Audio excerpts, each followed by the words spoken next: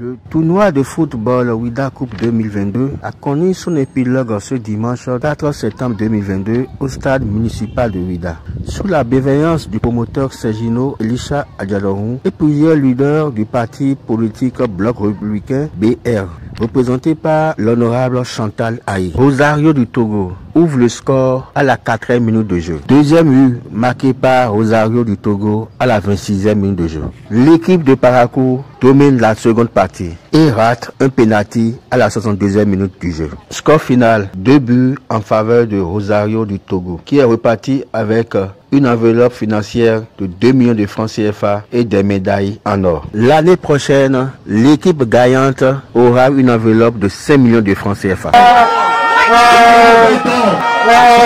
Écoutons la représentante du parti politique Bloc républicain. Euh, D'abord, mes premiers mots vont à- au promoteur du tournoi, hein, qui n'a aménagé aucun effort pour pouvoir se tenter, pour pouvoir rassembler toutes les équipes. Elles sont toutes euh, méritantes. Et là où le plus rond se met en place, tout le monde est content autour. J'espère que le spectacle était digne de la mobilisation que nous voyons ici aujourd'hui. Toutes les équipes qui ont participé, qui n'ont pas démérité, nous les saluons.